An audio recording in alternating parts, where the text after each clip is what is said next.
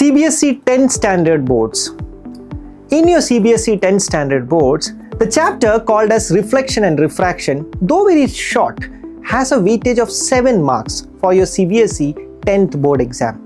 This makes it very interesting because if you learn it well, then you bring out the strategy of getting high scoring in the examination without putting much effort.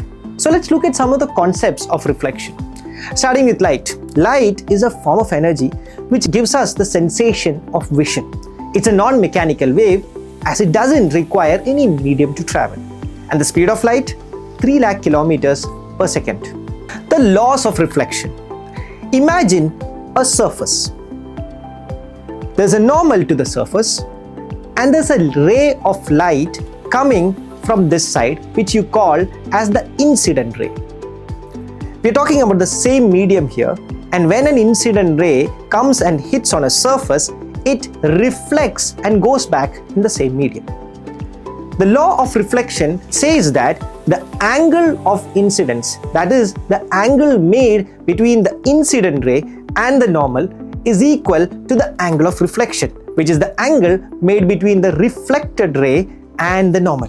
Now let's look at different types of reflection. Regular reflection. When all parallel rays of light reflected from a plain smooth surface, imagine a mirror, are parallel, then the reflection is known as regular reflection.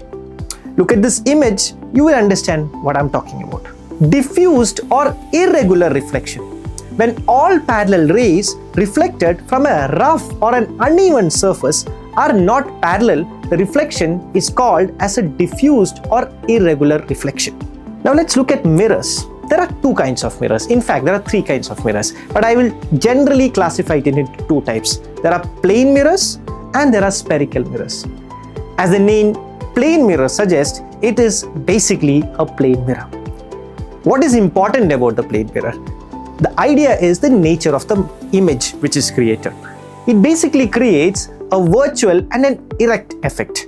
The image formed from a plane mirror is of the same size, laterally inverted and is at the same distance behind the mirror as the object is from the front of it. The second category of the mirror is the spherical mirror. Within spherical mirror, there are two types, the concave mirror and the convex mirror.